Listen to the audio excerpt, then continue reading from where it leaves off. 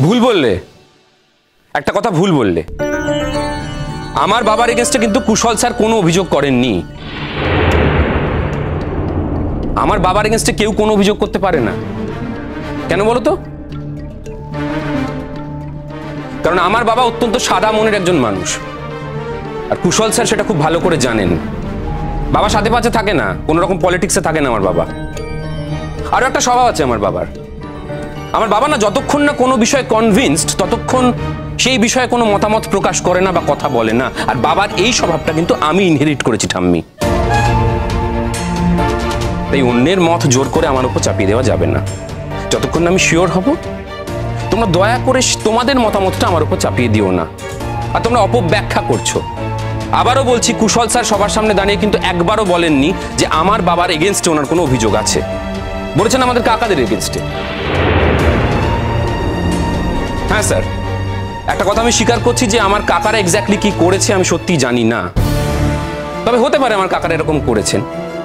কিন্তু কি মজার বিষয় দেখো ঠাম্মি, এটা যদির উপর ভিত্তি করে কত কিছু হয়ে গেল, তাই না? স্যার শুধু বলেছেন যদি এমনটা হয়ে থাকে মানে যদি আমার কাকারা এরকম করে থাকেন।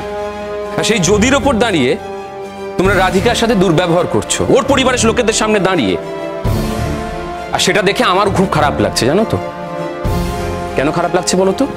কারণ যখন থেকে এই বাড়িতে এসছি, প্রত্যেকটা মানুষ আমাকে অসম্ভব ভালোবাসা দিয়েছেন, আদর যত্ন করেছেন। কিন্তু আমি তো রাধিকাকে ভালোবাসা ফেরত দিতে পারছি না। সবার সামনে দাঁড়িয়ে ওকে অপমান করা হচ্ছে এবং সেটা আমার সহ্য করতে হচ্ছে। কিন্তু আমার একটা কথা বলো, মা আমি তোমাকেও জিজ্ঞাসা করছি। দাদান তোমাকেও। একটা সময় তো দুই পরিবারের মধ্যে খুব যাতায়াত ছিল। একটা সময় আমার মনে আছে, এই বাড়িতে এসে আমি খুব আনন্দ পেতাম। কিন্তু হঠাৎ করে এমন কি ঘটলো যে দুই বাড়ির মধ্যে মুখ দেখা দেখি বন্ধ হয়ে গেল এবং এতটা এতটা খারাপ সম্পর্ক হলো? আর তার থেকেও বড় কথা সব থেকে ইম্পর্টেন্ট যে কথাটা, যদি কুশল স্যার তর্কের খাতিরে মেনেও নি কোনো অন্যায় করেছেন, তার মানে তো এটা নয় যে রাধিকাকে তোমরা সবার সামনে দাঁড়িয়ে যখন তখন ইচ্ছে অপমান করতে পারো, সেই অধিকার তোমাদের নেই কিন্তু। এখন কি তোমার ভাষণ শুনেই আমাদের সব সিদ্ধান্ত নিতে হবে? মাথাটা কারা খেয়েছে এবার বুঝতে পারছেন তো?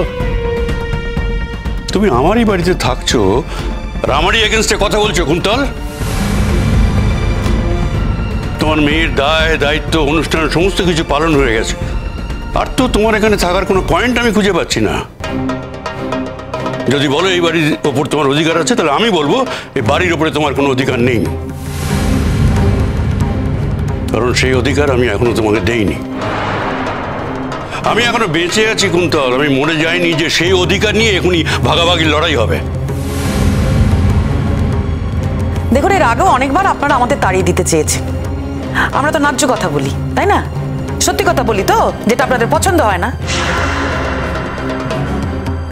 দেখুন অঙ্কিতা কি করল রাধিকা কি করল আমার দেখার দরকারই নেই। আমার বাবা একটাই স্বার্থ। কি স্বার্থ কাকিমণি? না বলো তো ঠিক তোমার স্বার্থটা কি? ভালো করে বুঝিয়ে আমাদেরকে বলো। ইক্কা দোক্কা সোম থেকে রবি প্রতিদিন রাত নটায় স্টার জলসায় ও ডিজনি প্লাস হটস্টারে।